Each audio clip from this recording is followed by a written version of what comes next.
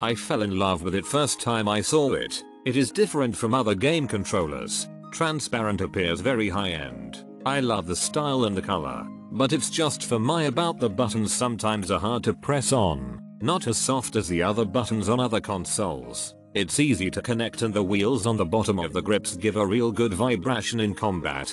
Fortnite. It will time out though if not in use which is good for the battery. Bright blue LED light in center. Make it easier to find in nighttime gamer mode. I love it and I am happy about this product. Would be awesome too if they added red LED lights into the controller. Would be wicked. I love that this controller is see-through. I was looking for a Pro controller for my husband for his birthday. He has an Xbox One and he isn't a huge fan of how small the Joy-Cons are. This one fits in his hand like the Xbox One controller the part that lights up is what shows what player number you are. It's pretty cool that you can see the parts move when the vibrations happen. It was easy for him to sync up with the switch and it charged quickly. It's nice that you can still play while it's charging if you want to overall. It was a big hit for his birthday. I like the design and it's really comfortable in using it whenever I play my switch games. Easy grip long charge. I love everything about it. I love the style and the color. But it's just for my about the buttons sometimes are hard to press on. Not as soft as the other buttons on other consoles.